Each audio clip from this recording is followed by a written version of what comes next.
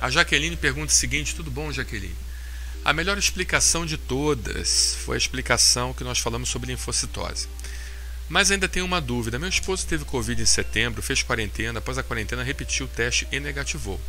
Ele fez um hemograma em outubro e apareceu linfocitose, repetiu o exame semana passada e novamente apareceu linfocitose. É normal ele estar com linfocitose mesmo curado dessa infecção viral?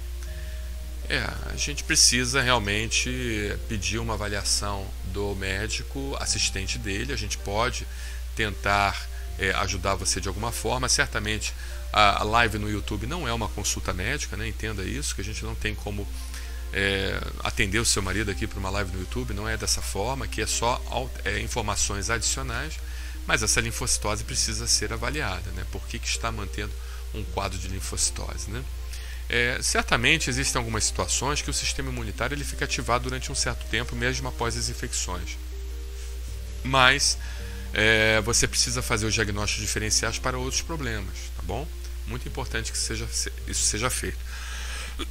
Existe também é, uma teoria da possibilidade, não é uma coisa ainda confirmada, é importante a gente deixar isso claro, que o Covid-19 ele pode permanecer no nosso organismo em estado de latência né, durante algum tempo. Então pode ser que essa linfocitose reativa ainda seja o Covid-19, mesmo seu marido curado da doença, mas ainda exista alguma quantidade de Covid-19.